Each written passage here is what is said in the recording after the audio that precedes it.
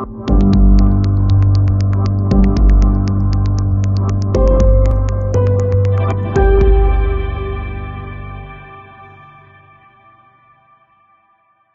therapist will make recommendations for your bandaging supplies. For the purpose of this video, we will be using these supplies. After first performing good hygiene to the area, apply low pH lotion, which is fragrance-free and dye-free, such as Eucerin or Elta. Next, apply a tubular bandage, also called stockinette, from the base of the toes to the knee.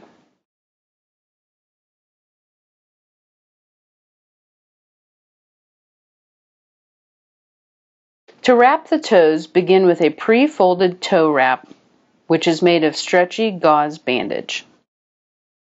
Make one complete circle at the forefoot where the toes begin. Each toe will be individually wrapped except for the little toe. Cross over the top of the foot, starting with the big toe at the base of the nail. Apply in a circular fashion with slight tension on the bandage until you reach the base of the toe. Cross over the top of the foot, making a circle around the forefoot, and begin with the next toe. Continue with this technique until all toes are wrapped except for the little toe.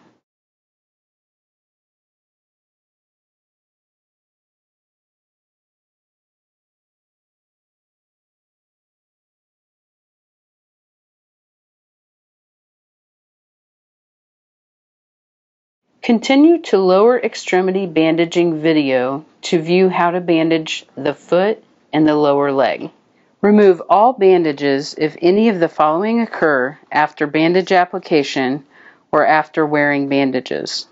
Numbness or tingling in the limb, color change in the skin, shortness of breath, decreased urination, abdominal swelling, or pain in the limb. If symptoms do not resolve after removing bandages, seek medical attention.